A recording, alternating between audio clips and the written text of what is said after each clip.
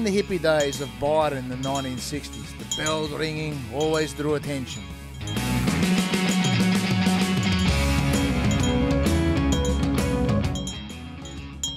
George! Over here, George! George. They called me eccentric. I don't know where they got that from. Maybe it was the bare feet, the scruffy beard. Maybe it was the foreign name, George Feros. A friend of mine said I was like the Byron Lighthouse, hard to miss.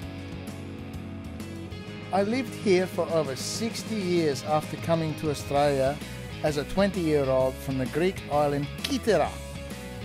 They say Kytherians are born with a mission. Mine became aged care. As my parents grew in years, there was no aged care facility in Byron, so I set about changing that. I would walk the streets of Byron, ringing my bell with a box in hand for donations. Some thought I was a beggar, but the writing on the front of the box told the story. Collect for the nursing homes.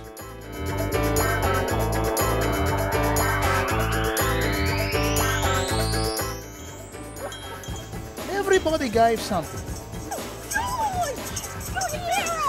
and in return, I always gave them a blessing. By the time I left this earth in 1981, I raised over $80,000.